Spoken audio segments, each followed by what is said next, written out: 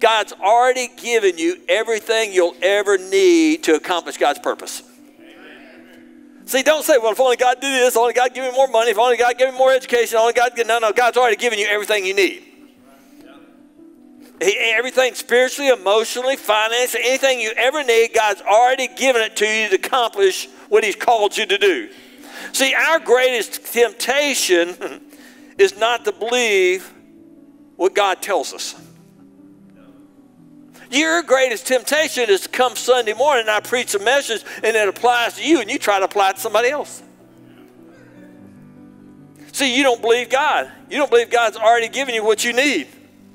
As we struggle with what God says and what He's already given us, it, it makes God angry, but God still, thank God, He's slow in His judgment and He still wants to use us. Sometimes He sends other people beside us. Ordinary plus God equals supernatural. Uh, I so we got the favor of God. So sometimes it's a place, sometimes it's people.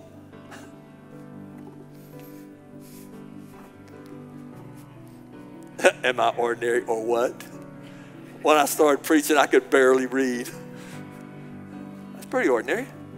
And y'all said, I know, you still don't do very good. See, one of the greatest temptations is not using what God's already given you. See, most people like want to make excuses instead of using it.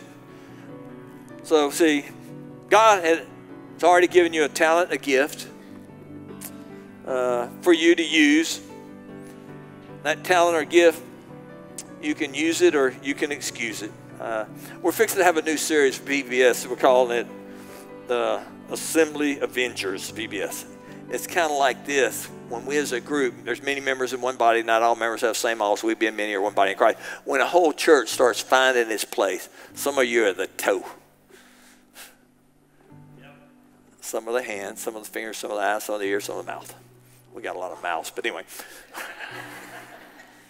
Too many mouths. Y'all not all the mouth. But anyway, but the, but the real truth is when we all come together, man, we can't be stopped.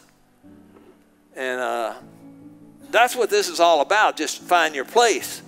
And God can use us to do even greater things. And God wants us to depend upon Him, not ourselves.